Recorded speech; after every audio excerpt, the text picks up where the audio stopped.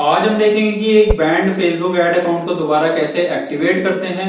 काफ़ी सारे लोग जब सीपीआई या अफिलिएट ऑफ़र का प्रमोशन शुरू करते हैं फेसबुक एड के थ्रू तो उनको फेसबुक एड की सारी पॉलिसीज़ नहीं पता होती हैं। तो एक छोटी सी गलती की वजह से उनका जो एड अकाउंट है वो कम्प्लीटली बैन हो जाता है। आज इस वीडियो में मैं आपको पूरा step by step with proof बताऊँगा कि कैसे अपने बैंड फेसबुक एड अकाउंट को दोबारा इनेबल करना है। तो चलते हैं अपने कंप्यूटर की स्क्रीन पर। तो अगर चैनल को सब्सक्राइब नहीं करा है तो अभी कर लो। तो बिना किसी देरी के शुरू करते हैं।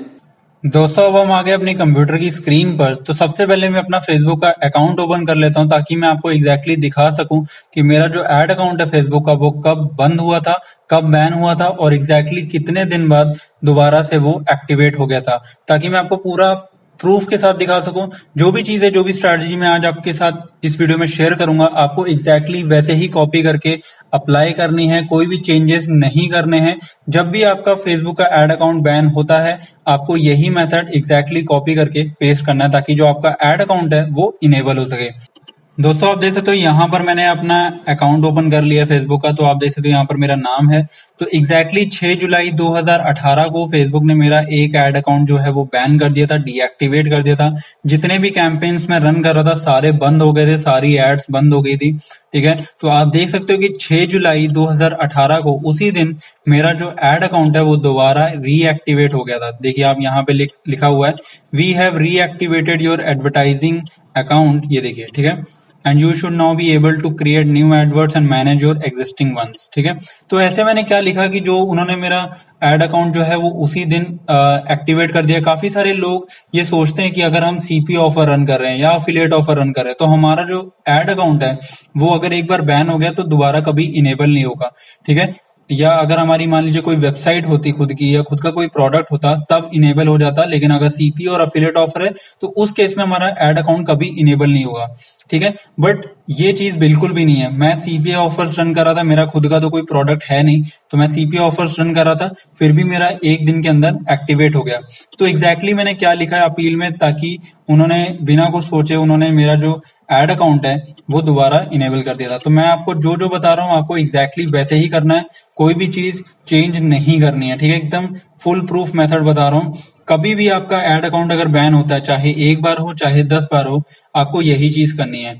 काफ़ी सारे लोग ये सोचेंगे कि अगर मान लीजिए हम, हमारा फेसबुक का एड अकाउंट एक बार बैन हुआ तो ये चीज़ काम करेगी।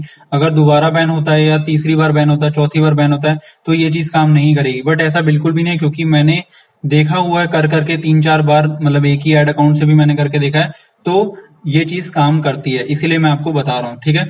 तो काफ़ी सारे लोग मैंने देखा है, ये कहते हैं कि अगर आपका फेसबुक का एड अकाउंट बैन हो जाता है तो आपको उनको सॉरी बोलना है, उनको रिक्वेस्ट करनी है कि आपसे गलती हो गई, आपको एडवर्टाइजिंग पॉलिसीज़ नहीं पता थी फेसबुक की मतलब क्या क्या ऐड की पॉलिसी होती है, आपके से बहुत बड़ी गलती हो गई, आप दोबारा ऐसी गलती नहीं करोगे प्लीज़ उनसे मतलब रिक्वेस्ट करो तो आपका वो एड अकाउंट ओपन कर देंगे।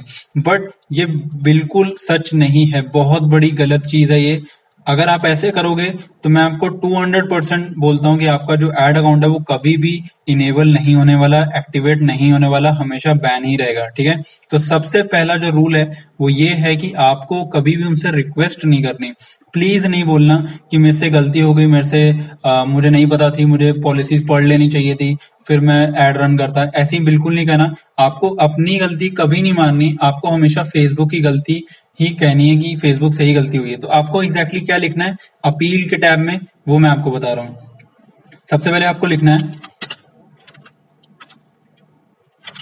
I have taken many Facebook advertising courses and also the Facebook ads blueprint course.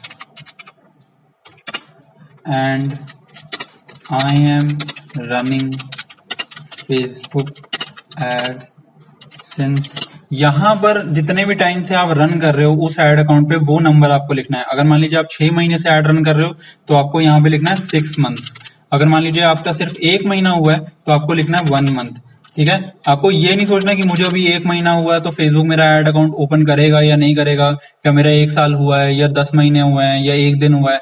जितना भी हुआ है, आपको यहाँ पे लिखना है। दो महीने हुए तो दो महीने लिखना है। ठीक है?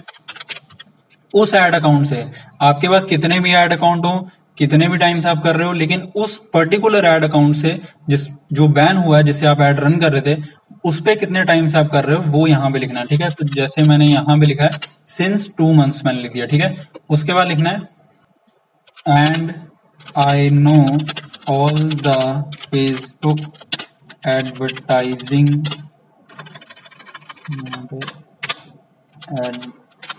advertising policies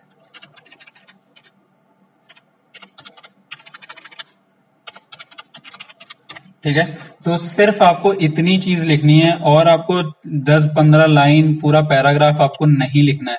जो मैंने लिखा है exactly same to same copy कर लेना और इसको जाके पेस्ट कर देना जब भी आपका फेसबुक का एड अकाउंट बैन हो। कोई भी चीज़ें इसमें आपको चेंज नहीं करनी है।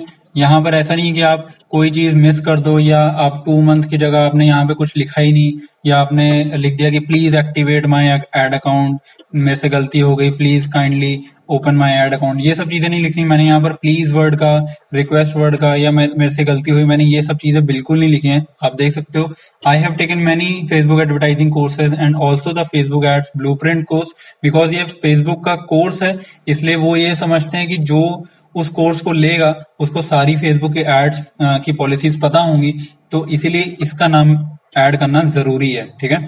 उसके बाद and I am running Facebook ad since two month and I know all the Facebook advertising policies ठीक है? एग्जैक्टली exactly ये चीज़ कॉपी करना और पेस्ट कर देना, एक या दो दिन के अंदर आपका जो फेसबुक का एड अकाउंट है, वो रीएक्टिवेट हो जाएगा।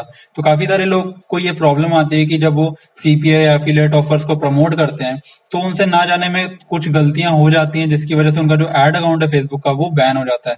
और दूसरे एड अकाउंट भी इतनी जल्दी क्रिएट नहीं होते हैं तो इसलिए उनको बहुत प्रॉब्लम फेस करने को मिलती है। तो ये वो तरीका है, जिससे आप अपने जो एड अकाउंट्स हैं, वो दोबारा एक्टिवेट कर सकते हो, ठीक है? तो दोस्तों आई होप आपको ये वीडियो पसंद आई होगी। तो वीडियो पसंद आई है तो वीडियो को लाइक कर देना। और यार, अगर नहीं पसंद आई है तो डिसलाइक भी कर देना। और कोई भी डाउट हो तो नीचे कमेंट में पूछ लेना। तो बाय टेक केयर